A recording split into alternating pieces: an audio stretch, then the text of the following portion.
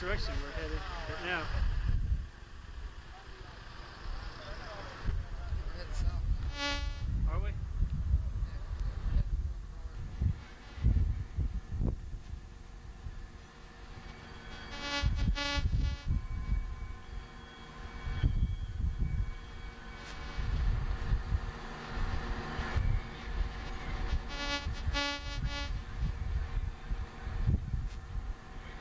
That's where the pilots land. That's how they come in, right along this line. Square right on this line to be a perfect landing. Catch wire number three, now the wheels in the middle.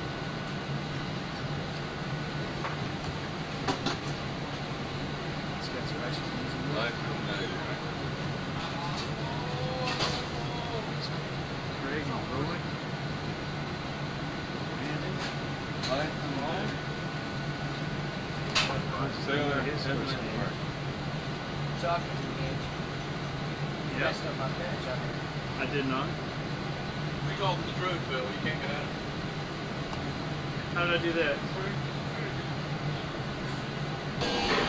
Now we're gonna go up the berthing. We're gonna go up this ladder here.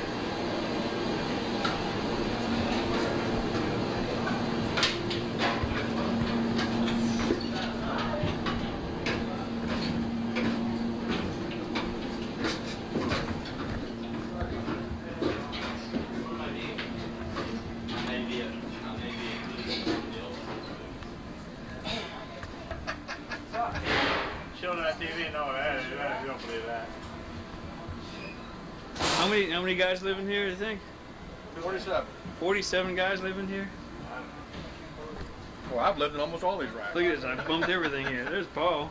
Paul, where's where, where's my rack, Paul? Hey, Bill, this is uh, your rack right here. Uh, remember that tonight. Don't forget it. This is Greg's rack. What's the numbers? Uh, this was my first rack.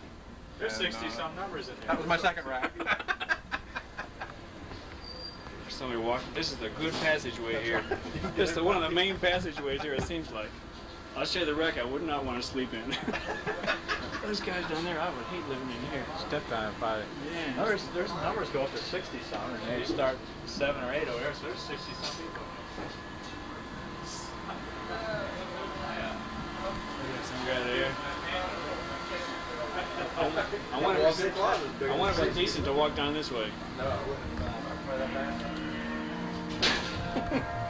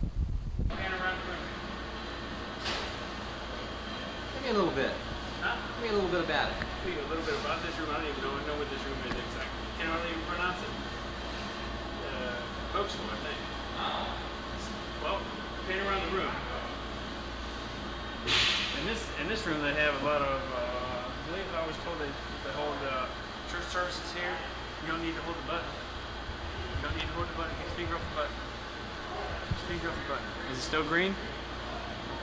Still got a little green light? Yeah. Good. Try to press the red button again. In this room, this uh, uh, traditionally, I was told, it's a uh, traditionally kept this way. The folks hold the ship where the anchor is, and they have uh, traditional things go on in here. I'm not all sure what it is. Uh, forward, if we could, if if we could, I don't think the hatch is open, but you can see right down into the water, even closer to where we were before. To me, it's a very impressive looking room. Okay, stop him, please.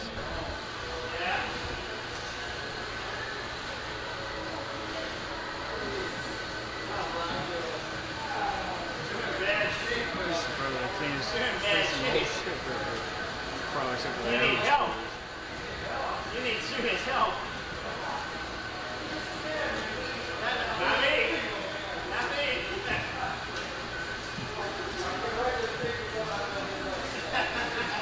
It's my job, Rob. There's a jogging machine, uh, bicycle machine back there. And, and weights, weight machine over there too.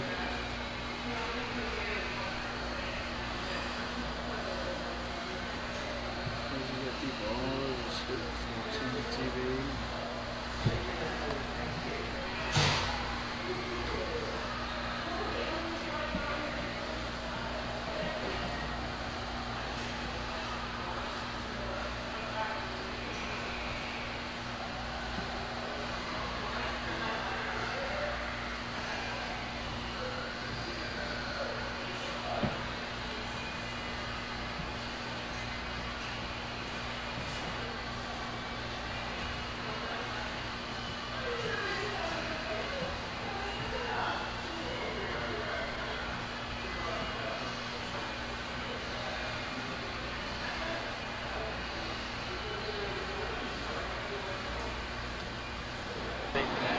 Try and take a picture of that up there.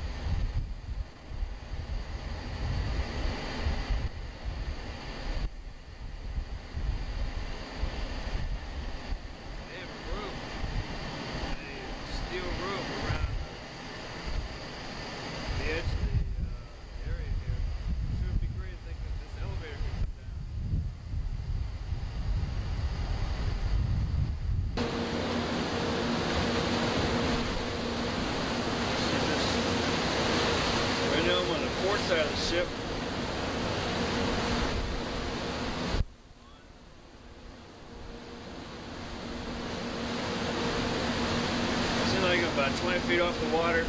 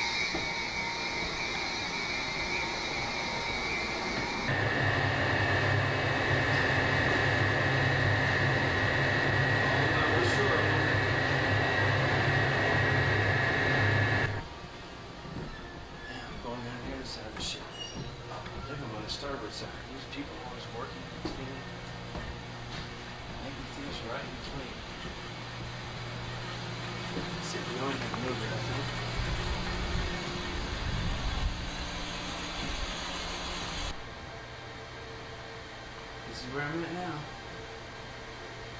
It's almost 5 a.m. in the morning. People are practicing things, getting things ready up topside.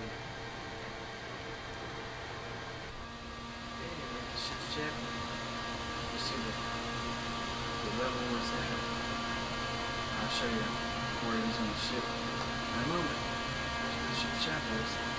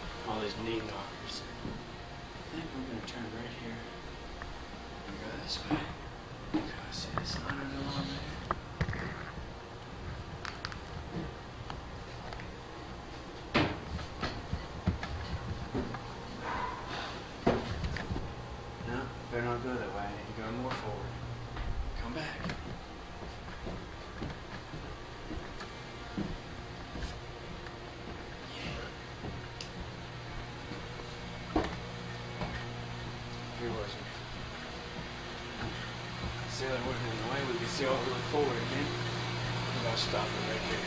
Just, go ahead. Honestly, thank you. That's the way I want to go, I believe.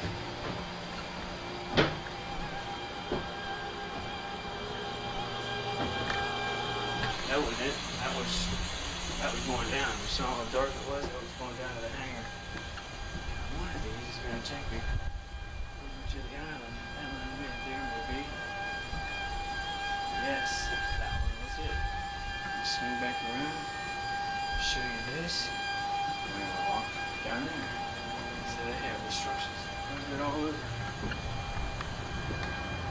hit, like, it's pretty good. You can't really get lost.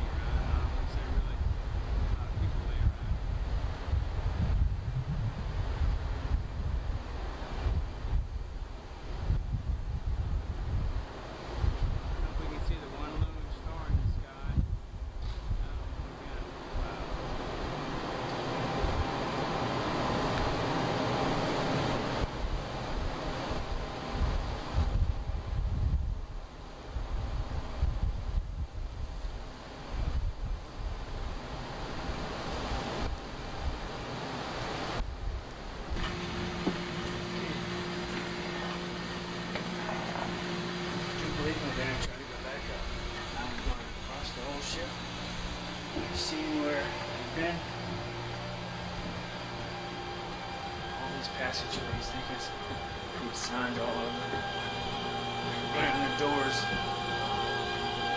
It's their special markings. I didn't show you that back there.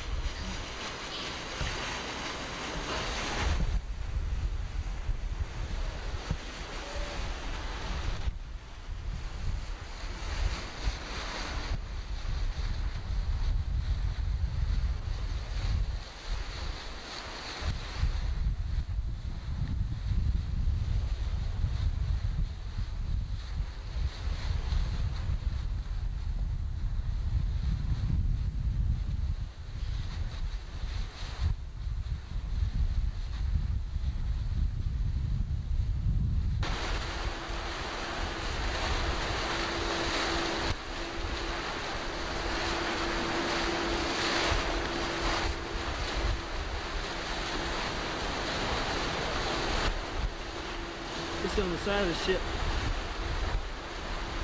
The other was from the very tip of the ship, as you can tell. What's out here now. I didn't even see what's out there.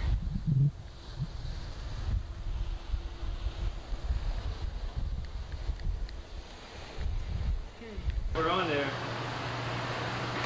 Uh-huh. What is this room anyway? Tell me, please. Kind of commercial lounge. Yeah, I know it, it, it's a lounge. What are these? Uh, these are the anchor. What? Is it breaks? I don't know. I'm not. You don't know what it is, huh?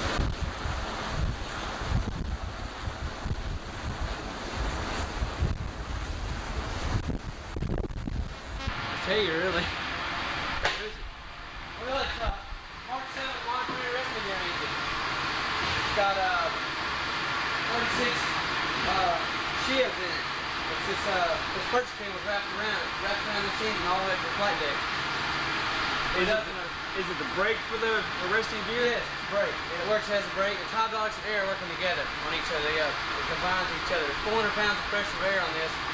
Whenever the plane takes a trap, this comes together. Hydraulic fluid is moving this way against air pressure. That's what I'm stops sorry, it. do it again. Say it again. When the uh, bird takes a uh, arrestment, the air works against the uh, hydraulic pressure. When the hydraulic works against air pressure, it squeezes together, it moves in, and it causes it a great, real, kind of like a vacuum. It just sucks together, Uh-huh. stops about, oh, 100 and, normal wrestling about, wait, normal wrestling about 180, no, 179 feet, 180 feet. That's about, that's normal wrestling. This is all shit. It's 1,100 feet of cable. There's two cables here. There's one that goes around these bigger ships at 33 inches, and one that goes around these 48s. And it's reed in here. That's not. It's kind of hard to get into. There's reed into here. Two sets of cables are reed together, intertwined through. There's a lot of shifts that these things go through on each side, all the way to the flight deck. 1,100 feet up to the flight deck. And basically that's how it works. Th- This right here, this drives this to work kind of like a, you know what a block and tackle works like. Uh-huh. This works again with this. That's called our drive system. This all the way down to there, all the way to the other end, which is our CRO valve. That meters the flow of hydraulic fluid that's going into this engine to stop the aircraft. It needs a, it needs a lot, uh, when you have a heavier setting aircraft like an F-14 at, at 52,000 pounds, you, you need very little fluid going through it. With a small, I mean, you need more fluid going through it. With a smaller aircraft like an S3 or a, uh, uh, an H3, needs, E2? needs more. E2 needs, needs more fluid, just because it's a slower aircraft. That's basically how it works. Air pressure and uh, hydraulics working working together. Want to tell me your name? Where you from? I'm guy. I work back here. Uh, your name and you're from? Where you from? Michael Lake, I'm from Texas, where I'm from. But basically how it works. I appreciate it. Thanks.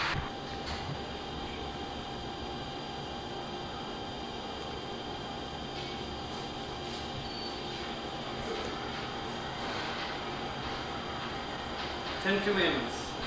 Damage control.